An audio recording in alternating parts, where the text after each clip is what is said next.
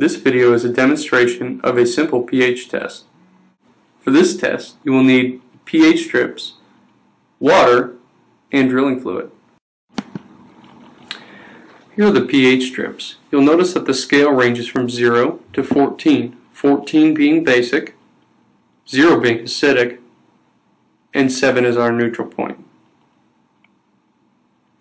The first step in a pH test is to remove a pH strip. Today we're going to be testing both water and bentonite drilling fluid. First, dip the pH strip into the water. You'll notice that the pH strip has changed colors. Compare those colors to the chart. You'll notice that this water has a pH of 7. Next, remove a new pH strip from the package and dip it into the bentonite drilling fluid.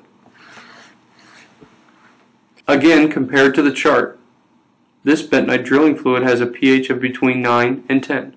For help with your next project, visit cetco.com forward slash DPG, where you will find detailed product information and our handy product usage calculators.